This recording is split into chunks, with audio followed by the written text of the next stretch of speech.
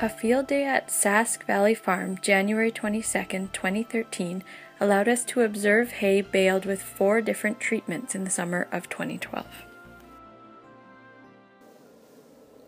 This alfalfa brome hay was cut on August 15th and 16th, 2012, and baled on August 21st at the project site near Saskatoon. Five bales were treated with Buchneri inoculant and five bales with SiloGuard.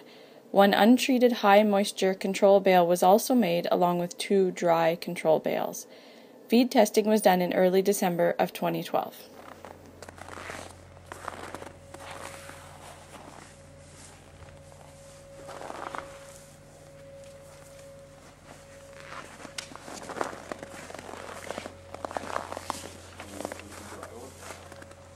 The mold is higher than that one. At both sites, the mold was highest in the dry bale. Really? Who knows? But apparently, it could be a different, you know, a different type of bacteria or something. Mm-hmm.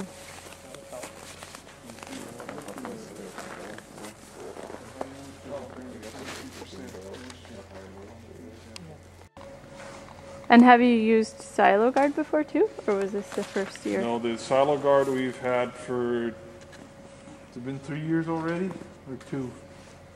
One of the two.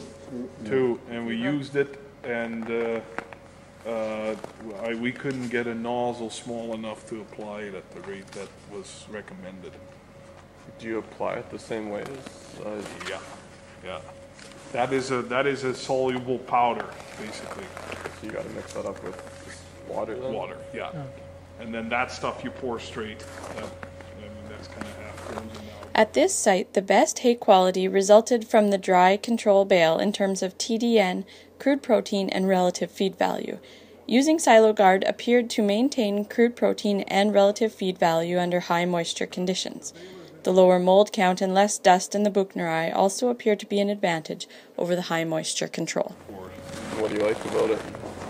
I find it keeps the dust and the molds down Yeah? on the tougher hay, and I, and I, uh, it, it's a little more noticeable when you do small square second cut alfalfa. Uh, the, I've been able to bale up to almost twenty percent moisture, stick it in the shed that evening, and it hasn't heated Okay. on, uh, hay that's been cut three or four. Doc video, the I Ford could do it Kilter too, video. Yeah, You can grab one, I'll grab one. yeah, that one's not as bad. Oh, yeah, there's a poop Yeah. there, yeah.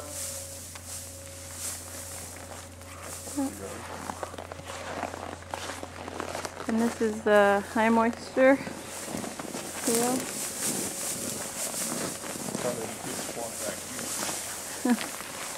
bale. I think Yeah. it's Here, dustier. Definitely This is dustier. dustier. Yeah, Yeah, yeah. there's some weeds in here, I think.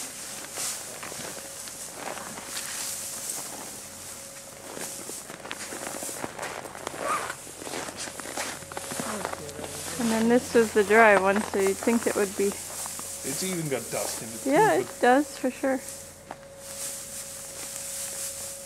This might be because this one's pretty dry. So. Yeah.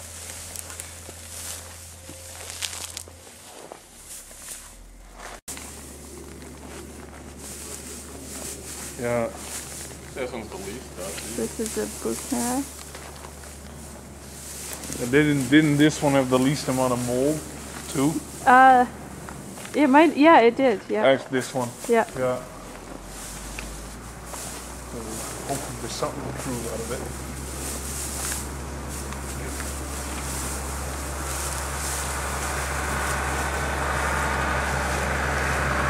Square wheels stay greener with the Buckner eye than without what we noticed before. Well, the Buchneri seems to be a fairly decent product overall. The bar, stick your head right underneath behind the main. Yeah, that's where I mounted the bar, for two nozzles.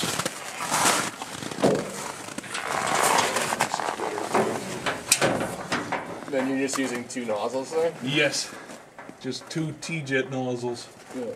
Uh, right there. Okay. Like there's the one and then the same on the other side.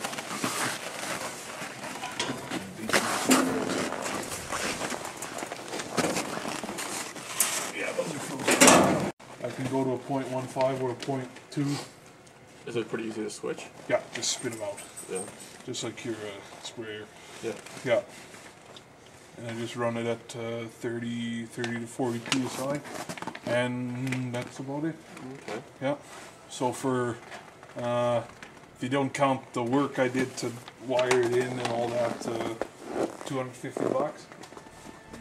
Yeah. That was it, And you're good to go. and you're good to go.